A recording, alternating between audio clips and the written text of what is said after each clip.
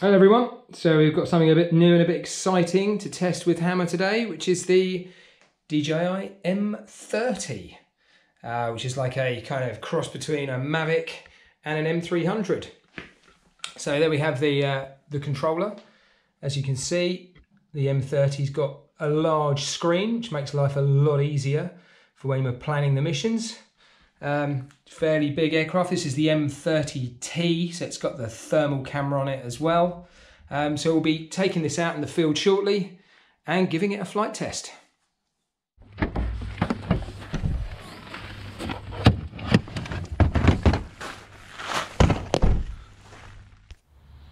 So here we go, just getting the M30 out of the box.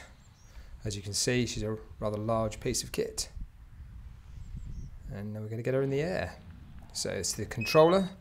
So you can see the screen is a lot larger than previous DJI controllers. And here she is in flight, ready to start the mission. So M30 is connected and what we've done is we've planned our mission directly on the controller. Uh, with the screen being rather large, it makes life a lot easier to plan. So Here we go, open up our parameters. You can see there the M30 wide camera. Check all of these. Change that from meters to feet, because that's how I work.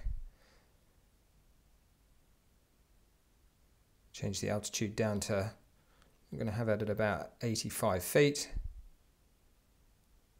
You can see there that's two batteries, 20 minutes. So what we're actually going to do is we're going to make the map slightly smaller so we can get it down to just one battery or one set of batteries because the M30 takes two batteries. So we'll bring that down in size. I'll check our parameters. Now we're down to 16 and a half minutes with one battery. I think we're ready to go.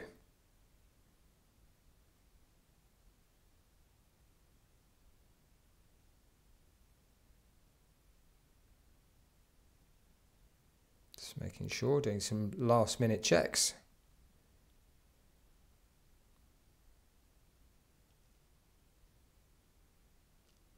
Here we are, pre-flight checks. And we press fly, it's uploading to the drone. And there you can see the uh, onboard camera. Takes to the air. Starts its first waypoint. All the way over to start and off she goes. So we've sped this up by eight times, uh, which will um, shorten the video somewhat. But she, uh, it was a, a, fairly lengthy flight in the field, so we thought we'd speed the video up just for time's sake. As you can see there, the, uh, the blue camera icon is flashing, which means it's taking photos as it goes.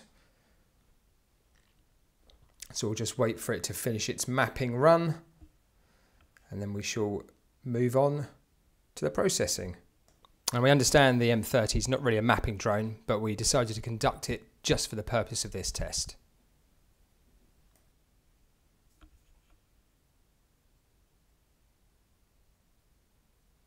And coming down to its final its final run. And that is our mission complete with the M30.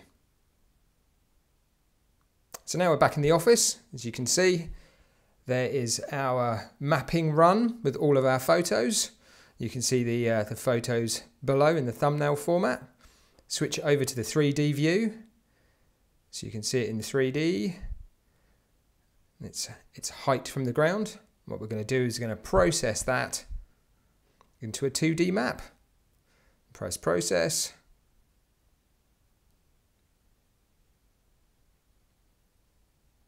Now we, uh, we wait for it to be processed. You can see there it's been submitted. And what we'll do is we'll come back once that's been done.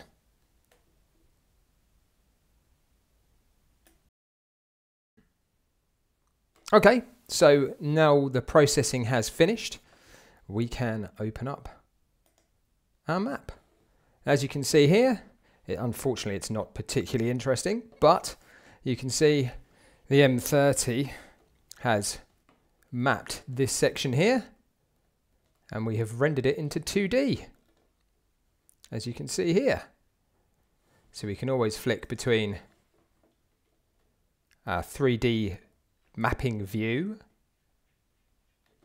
looks a bit like that, or our 2D map. And again, the same as before without the 2D, you can obviously click any one of these, which will bring up the correct photo. And of course, as per standard, you can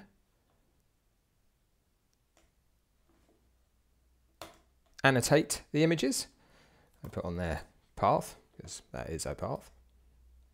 You can also share the share the project and report on the project.